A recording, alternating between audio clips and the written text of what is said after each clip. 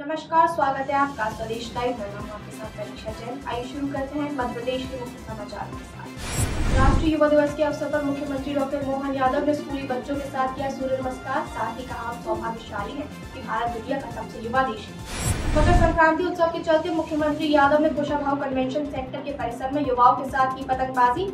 इस मौके पर उनके साथ मंत्री विश्वास कैलाश सारंग भी उपस्थित। राष्ट्रीय युवा दिवस के चलते स्कूल और यूनिवर्सिटी में आयोजित किए जा रहे हैं कार्यक्रम प्रदेश भर में मनाया जा रहा है राष्ट्रीय युवा दिवस।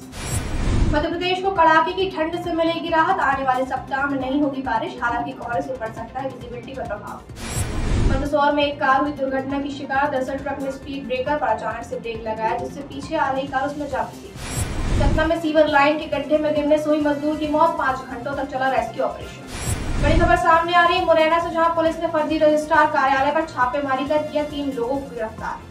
शिवपुरी में पुलिस ने हेलमेट लगाकर निकाली जागरूक रैली, साथ ही लोगों से की यातायात नियमों को पालन करने की अपील। उज्जैन के प्रसिद्ध दस भुजा वाले गणेश मंदिर में सेल्फी लेने पर लगाई गई रोक, मंदिर समिति का फैसला, मिनी स्कर्ट फटी जीन्स को भी किया गया बैन इंदौर के होलकर स्टेडियम में होने जा रहे भारत अफ़गानिस्तान मैच का एनपीसीए ने कराया बीमा ताकि बारिश के कारण ना हो नुकसान। आज की खबरों में इतना ही। मध्य प्रदेश के अन्य मुख्य समाचारों के लिए देखते रहिए स्वदेश लाइव।